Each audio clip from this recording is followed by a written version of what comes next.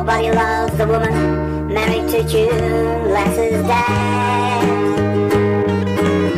When an anonymous marries him, everyone's gonna be glad. It's gonna happen. It's gonna happen. And when it does, everyone's gonna be rapping.